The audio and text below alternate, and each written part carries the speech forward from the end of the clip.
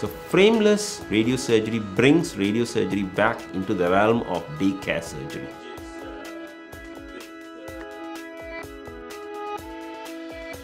The first most glaring advantage in a frameless system is there's no pins, there's no pain.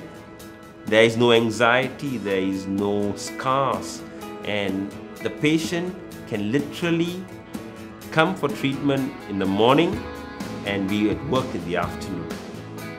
We uh, choose Brainlab for the simple reason that it has demonstrated that it can do SRT and SRS in a very accurate way.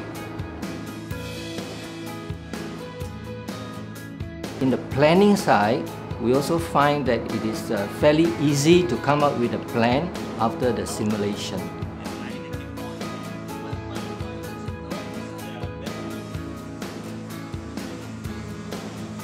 Having add-on radio surgery gives IMW Medical Center Subang Jaya an added advantage compared to all the other hospitals in this country.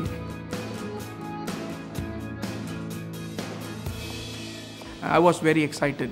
This was the first radio surgery system in whole of Southeast Asia and something new that we are offering to the patient.